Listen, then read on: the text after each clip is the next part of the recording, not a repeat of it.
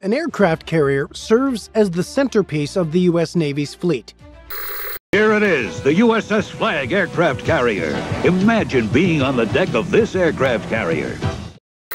These massive ships are like floating airports, complete with fighter jets, helicopters, and all the supplies that are necessary to. At 7 feet 4 inches long, the USS Flagg from 1985 is the largest toy ever produced. And it's arguably the single biggest grail for G.I. Joe ever.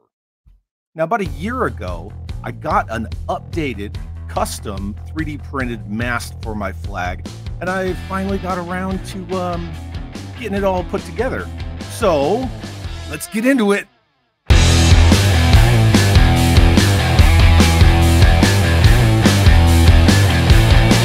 So, what we're going to look at here is something I kind of showed in my fourth part of my Joe Room Tour videos.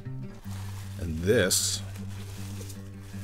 is a custom 3D printed updated mast for a USS Flagg. This is the bottom piece. You can see the ladder rungs have been added to it. It's got a crow's nest. And you can see there's spots for little attachments to plug in. It's got some grating for, you know, feet, things like that. A lot of good detail in this. More grating. Spots for more accessories to plug in. And the cool thing about this mast is it's really plug and play. So you just kind of made it together like that. And then what happens is, get this little bag of accessories. Now there's eight pieces in here in total. Doubles of four specific pieces. So there's a lot of doubles. But what you can do is just kind of mix and match them. This piece specifically right here. Now this is where, this is the male end that plugs in like this. But what you can also do, if you want to get crazy, plug it into the top.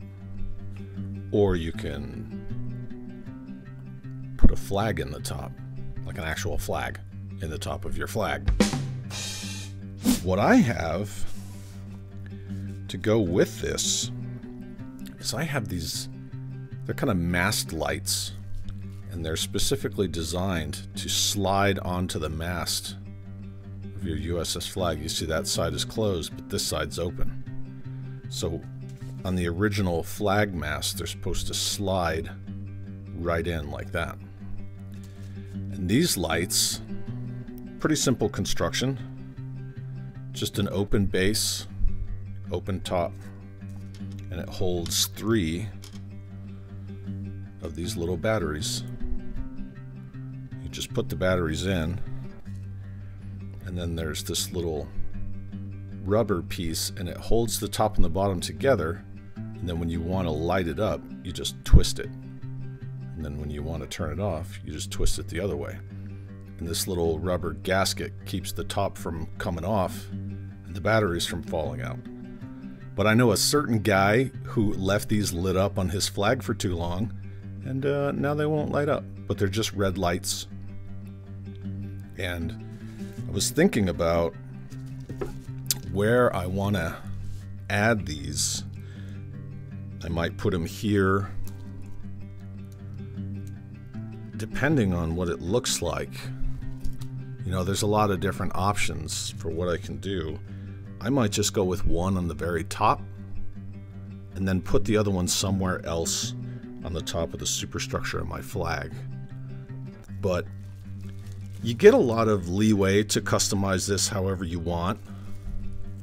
Granted, you don't want one of these arrays covering all of your crow's nests you can stand a figure in there.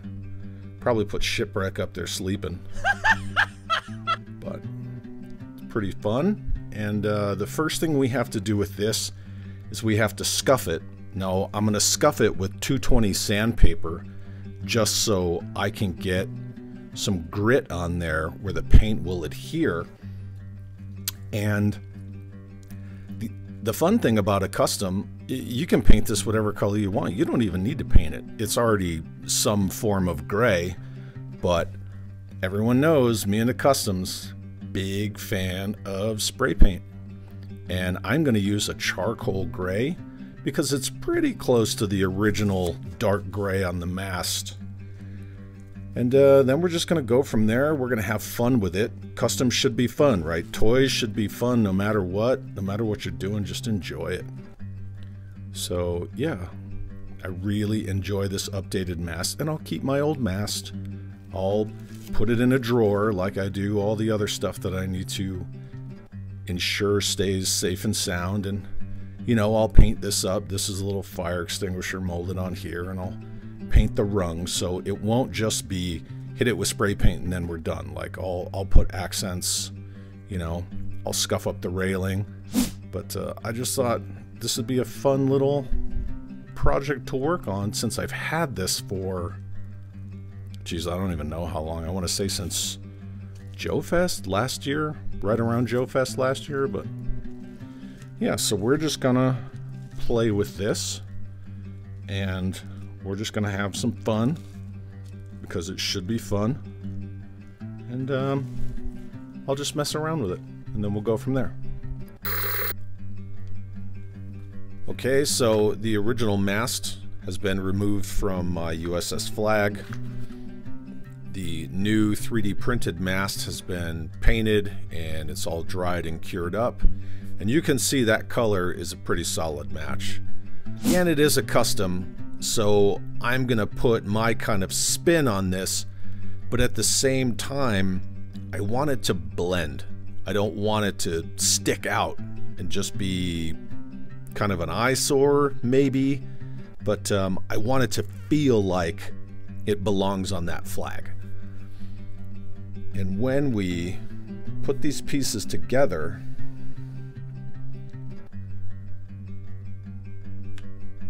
you can see the height. It's just a little bit taller than the original. Only because the original has two levels and the updated has three because of the crow's nest and the ladder. And then we're just gonna get that out of the way. And then from here, all I'm gonna do is I'm just gonna take a couple of paint pens, nothing crazy and I'll just do a couple little accents on here, you know. I'll do the fire extinguisher and a few other parts that I think should have color. Little bit of pop. Nothing crazy, but just a little pop. And we'll just add a little bit of accent to it. And then I'll start putting all the arrays on the top. Now I did decide that some of them I'm going to leave different colors of gray because I'll have three different colors.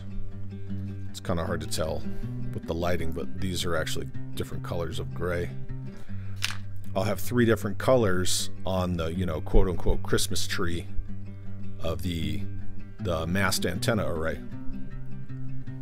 Just to give it a little bit of pop Again, nothing crazy, but I just want it to stand out as custom and different and updated, but at the same time not be such an eyesore where it takes that line of sight away from the rest of the USS Flagg.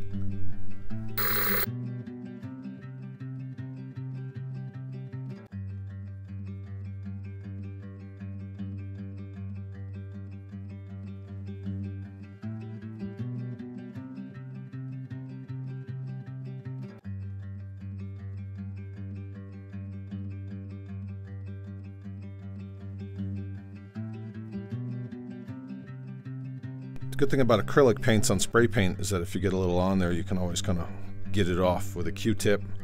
And then I can always go back over it with the gray as well because I'm doing smaller detail and that's okay. And once again, the chrome marker pen. I'm just going to do some, some detail with it. But these are invaluable. Just some very fine chrome detail on that circle right there. Then I'm going to go over these grates for the feet. Don't want it to stand out too much, but we want it to stand out. Just like that. Just put some chrome in there. Nothing too crazy. It's almost hard to see it with the shine from the camera on that glossy paint. But it's in there. Paint pens are great for raised surfaces because unless you're really flinging the paint pen around, you're not going to hit the lower surfaces. So anything that's raised up like this, you can get some really good detail in it. Just gotta take your time. Take your time and have fun. And if you mess it up, take some of the spray paint, put it in a bowl, take a brush, touch it up. That's all you gotta do. Just like that. Little chrome accents.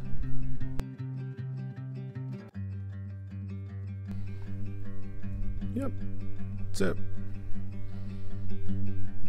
Little chrome accents, that's all we're doing.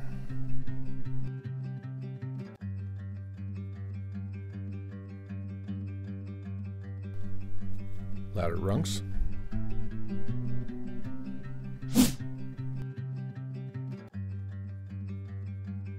I've always said you kind of want like a meat on meat contact.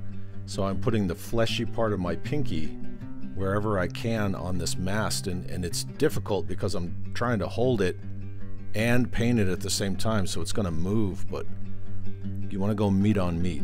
So, you know, the fleshiest part of something I can right there. And then I just try to stabilize as I go which is interesting because as soon as I move my hand, the piece of the mast moves, but you kind of have to counter it. It's a interesting way of working. And I'm also trying to make sure it can be filmed, and so certain angles that are easier to paint are not easier for the camera, like these couple of lines I'm doing right here. But if I turn it too far, then my angle of attack is all wrong because instead of up and down strokes, I'm doing like an angular stroke. I always find it easier to pull with a paint pen rather than push.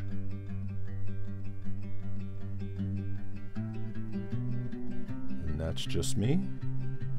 Very many ways doesn't mean that my way is right. It's just what's easiest for me.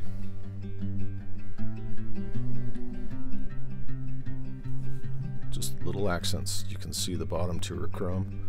Now I'm going to do the four on the top. Uh, six, actually. It's one, two, three, four, five, six. Thank you.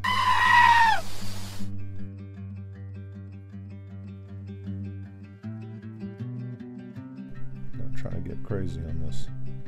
Just trying to put accents on it.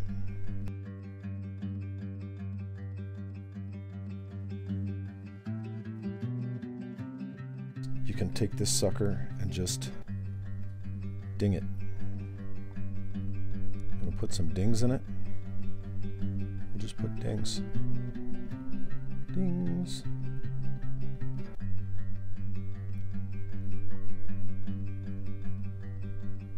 There you go. Just in corners. Dinging up corners. That's all. A couple little dings, little accents. That's all we're doing. And it doesn't have to be uniform. It can be random. Just wherever you want some dings. Just pop them in there.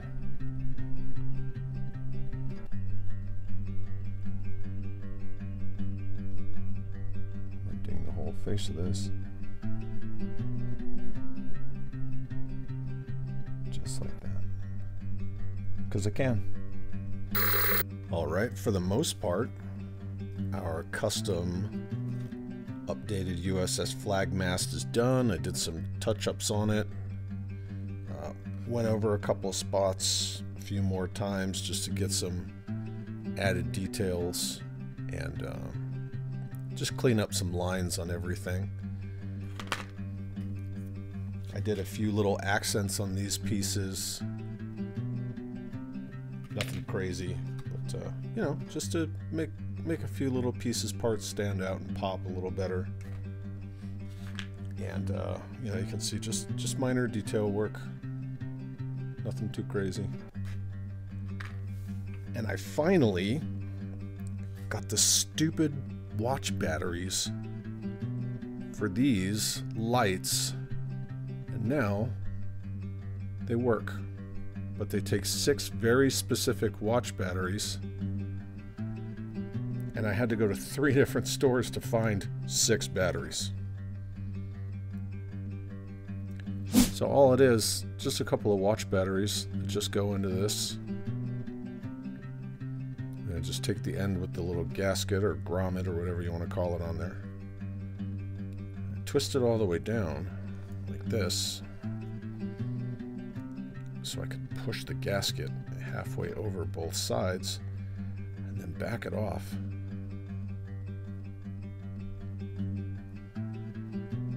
Go. So now they're in the off position. I'm going to put these somewhere on my custom Flagg mast. Not entirely too sure if I'm going to use them both or just one. Again, as I've talked about in other custom videos, I generally have a 70% solution with whatever I'm doing, and then I just kind of feel out that other 30%. So whatever gets me there, gets me there. And uh, I'm more about the overall feel and flow of something than saying, no, this is the original idea and I'm sticking with it. So I will adjust all the time as I'm making a custom. I'm going to take this 3D printed tow cable because it's nice and flat on one side where the print bed was. And then I'm going to take a blue and a red sheet of Canlite gels.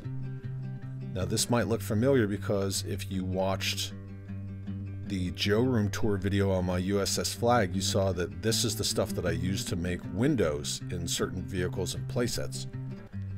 And with this, all I did was I took a blue sheet and a red sheet, and I'm making flags This one I just kind of doubled it over, notched it out, and they're just going to sit like this. So the USS Flagg was launched in retail in 1985. I like to put little Easter eggs on my custom builds that I do. It's really simple stuff. So I cut out the blue and the red. Then I just take the red like this just fold it in half.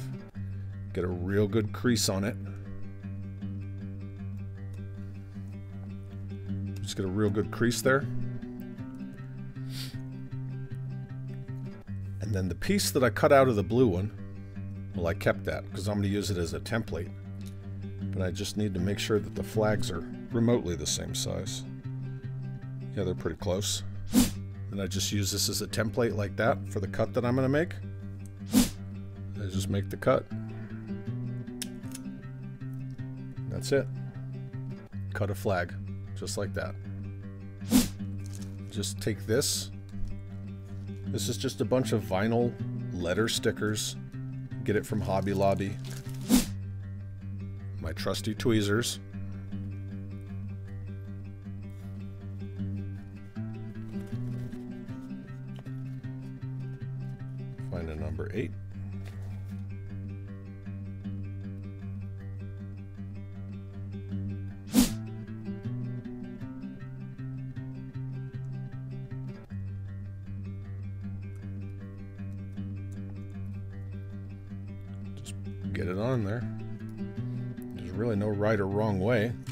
Just making something.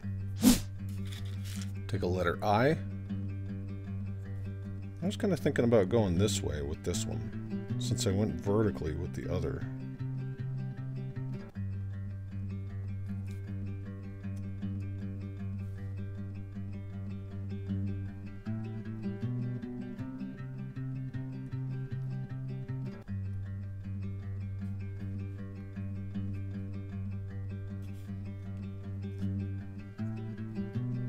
Why not?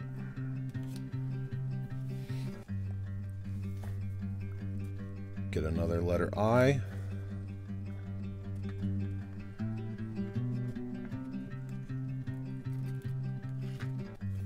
Okay, well that's three of them.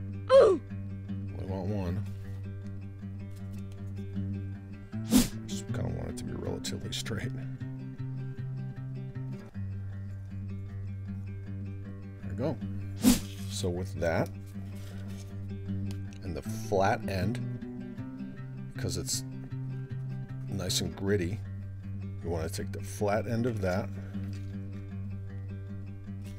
Then we want to affix our flags, and we'll do it right above the little knots, because then it looks like it's supposed to be there. There you go. 85. We're going to make a flag, and it's going to hang right off of this. We'll, we'll get it all attached on there, or probably open the top, hook it in there. It'll drape all the way down. Okay, so we're going to use Testors liquid cement for plastic. I get really good results with this stuff, especially when I'm going plastic on plastic, and it's not actually going to melt these can light gels. So this stuff works really well. We're just going to use that. And a couple of clamps. We're just to clamp it down. I went ahead and I cut a notch out of the hook end of this tow cable because it's going to hook right into here. Right there at that right angle. It'll hook in here and then it's just long enough where once this thing is completely connected and this is hooked in, the bottom end of this hook will sit in one of the grooves on top of the Flagg superstructure and then it'll have a little positive pressure kind of holding it in there. Not that I really need it because once it's hooked in it can just free hang, but I want it to look like it's connected at both ends.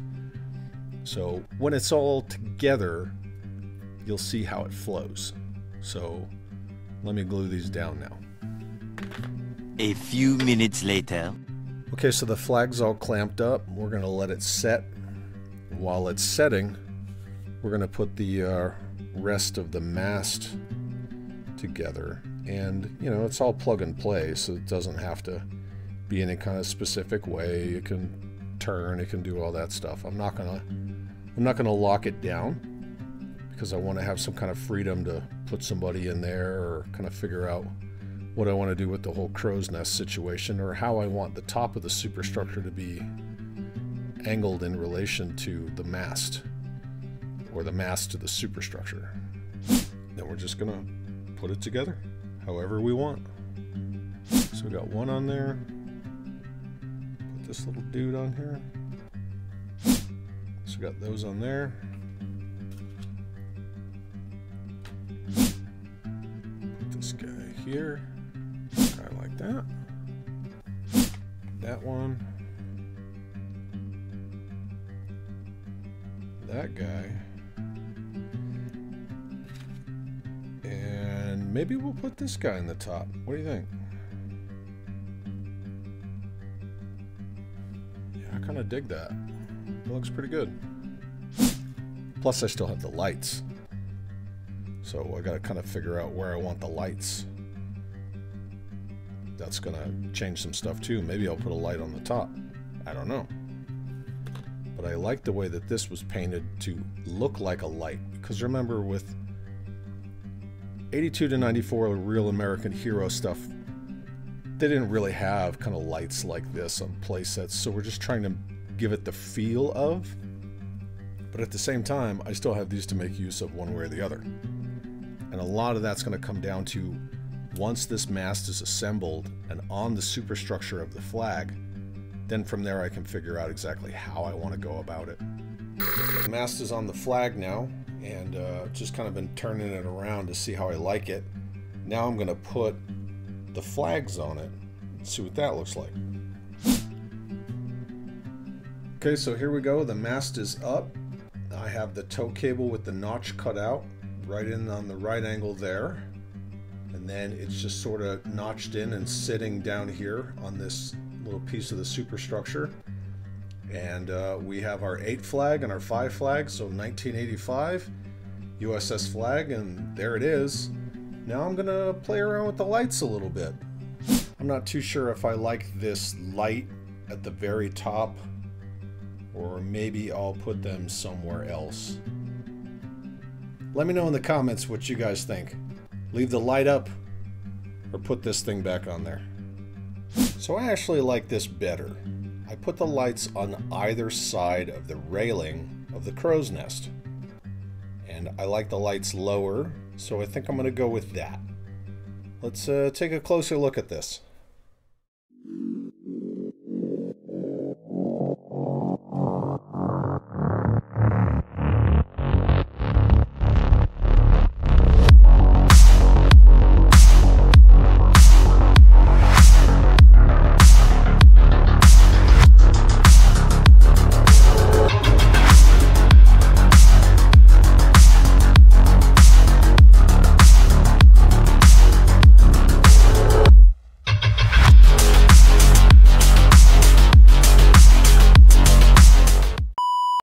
Well, there you have it. I hope you enjoyed watching uh, this video on my updated custom mast for my USS Flagg.